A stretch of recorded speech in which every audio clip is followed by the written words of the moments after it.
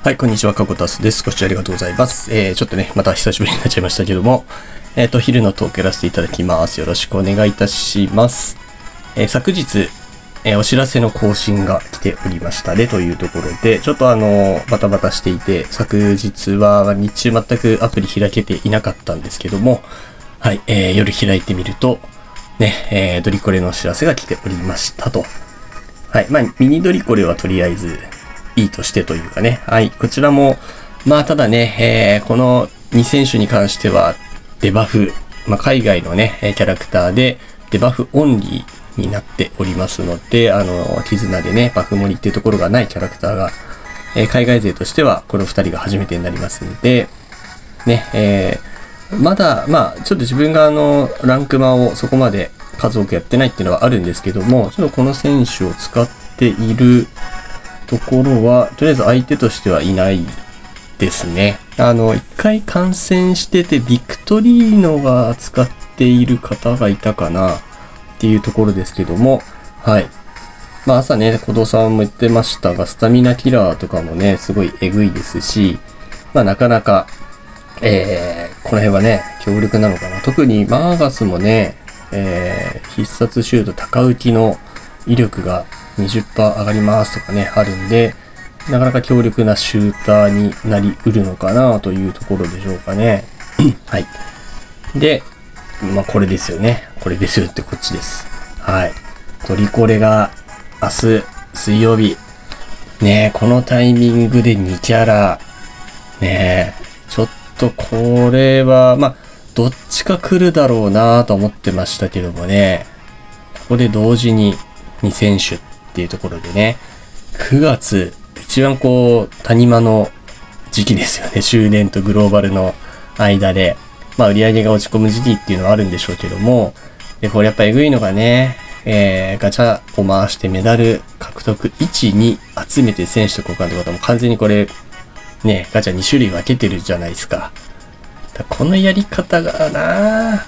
で2種、2種類分けると大体他のキャラクターも分かれるっていうのがね、他の、例えば過去のキャラクターはね、あの、それぞれどっちも全部入っていればまだ、なんとなくいいんですけども、まあ大体過去の、あの、超フェスとかね、超ドリコレとか見ると、二つに分かれているものに関しては、もう、あの、キャラクターが、そのフェス、えーこれで言うとドリコレのキャラクターが、もう完全に分かれているんで、ね、あの、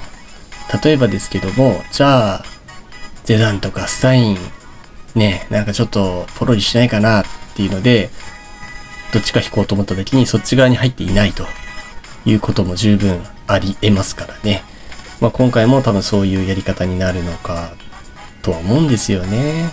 はい。まあそこは良心的にはなんないような気がするんで、まあ、であとピックアップ誰ですかねっていうところですよね。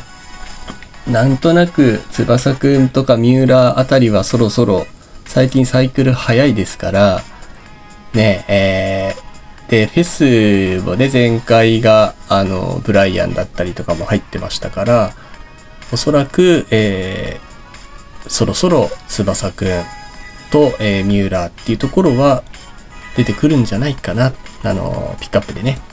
で、さすがにゼダンとかはまだだとは思うんですけどね。はい。で、えーそうなると今度ね、三浦と翼くん。で、今までのね、ドリコレとか、こう、ショーフェスとかね、こう見てると、えーと、分かれる場合っていうのは、大体日本と海外ってこう、入れ子になっているような印象が、個人的にはしてます。なので、まあ、翼くんが、例えば、ヘルナンデス側、で三浦が赤井くん側、みたいな感じにはなるような、はい、えー、気がしてます。で、まあもちろんね、ヘルナンデス、例えば属性とかにもよるんですけども、まあこれが、えー即属性のキーパーで、えー仮にミューラー君がね、えっ、と、そっち側に入ってるとね、まあ、それはそれで、なんか思いとしてはね、いろんな複雑な思いがありますよね。ヘルナンデスを狙ってミューラーが取れましたってケースね、あありえますからね。はい。というところで、まあちょっとどういう、うん、形になるのか、ピックアップどうなるのかっていうところは、まあ当日になってみないとわからなそうなので、えー、まあ楽しみなのか、あただあれですよね、やっぱり環境トップを追いかけると、やっぱどっちも取っていかなきゃっていうことになるんですかね。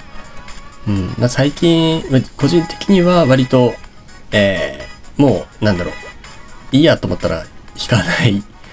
まあでもな、中途半端に引いちゃってるんですけどね。例えばエスパダスのガチャもね、100年回しちゃったりとかもしちゃってるんで、まあ結局出てないんですけどね。ピックアップが、えー、ブライアンがやっと出ましたぐらいだったんで。なので、ね中途半端に引いて取れればいいけども、やっぱそこで取れないとね、夢玉だけ無駄に消費しちゃいますんでね、どうしようかなっていうところ、まあ性能が出てないんで、今の時点でなかなか判断難しいですけども、うん。やっぱりキーパーとね、まあ今回シューターではないんであれですけども、キーパーとシューターで、やっぱ試合をだいぶ左右しちゃいますので、場合によってはヘルナンデス君っていうところはね、ちょっと欲しくなっちゃうのかな。はい。で、えこれも繰り返し 言ってますけども、自分が相変わらずあのミューラーをずっと使ってます。まあキャラクターがね、えー、好きなキャラクターっていうところでもあるんで、えー、使ってたりはするんですけども、あの、な、なんでか本当にね、自分デバフめちゃくちゃ当たるんですよ。で、そうすると漏れなく、葵くんがいるんですよ。あの、ワンツードンの葵くんですね。まあ、相変わらずやられます。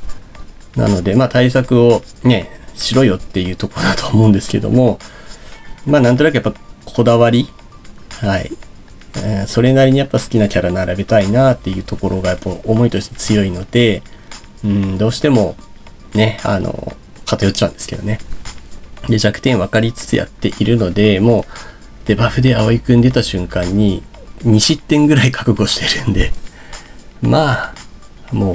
う、いいやって感じでやってますけども、はい。まあ、勝てればラッキーだなぐらいですね。はい。で、ヘルナンデス君がね、即属性だと、あの、ミューラー君に変えてね、入れたいなっていう、まあ、ミューラー君とヘルナンデス君でどっちもキーパーとしてはあの好きなので使いたいので、まあ、例えばね、日本キラー持ちの、えー、ヘルナンデス君ですとかってなれば、もしくはね、あの、属性無視とかっていうのがあるとね、割とあの、葵くん止めてくれたり。えー、まあ、あとは、そうですね。今だとやっぱ三浦は、そっか、日本選手には結構弱いんですよね。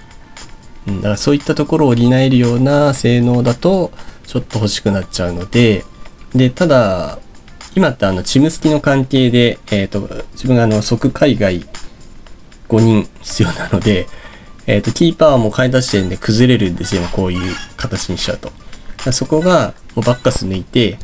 ヘルナンデスとかをね、入れられるようであれば、ちょっとここは、えー、まあ相手の、あの、攻撃の選手次第で変えられるっていうのもあるんでね。はい。ちょっとその辺を、ね、見極めたいなと思います。赤井くんはどうなんすかね。なんか青井くん召喚するキャラクターなのか。ただ、サンプドリアのね、ユニフォームを着てるので、まあおそらくこれもネクドリだと思うんですよね、2キャラとも。あ、そうすると赤井くんは移籍してないですね、サンプドリア。はい。で、えー、ヘルナンデスくんがインテルだと思われますのでね。違うのかな？ネクドリじゃないのかな？ネクドリだとね、あの、今後の物語とかもね、楽しみですけども。はい。まあそうすると、えっ、ー、と、葵くん召喚っていうのは、まあクラブチームで、ね、ないような気はするんですけどね。はい。まあ、どうなるんですかね。ちょっとね、あの、まあ最近やっぱりディフェンダーで自動パスカット、自動ブロック強化とかね、多いし、やっぱ封印、無効リカバーとかね、まあこういったところが、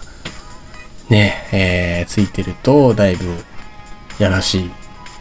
ね、強い選手なんだろうなと思いますけども、どうだろう？あとなんか、マークディフェンスとかね、ありそうな気がするんですよ。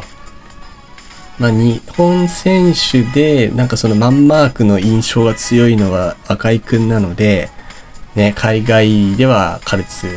ね、えー、一体いますけども、日本選手だと赤井くんっていうのは十分あり得るのかな。まあ、ソーダくんとかもね、なんかこうマーカーのイメージありますけど、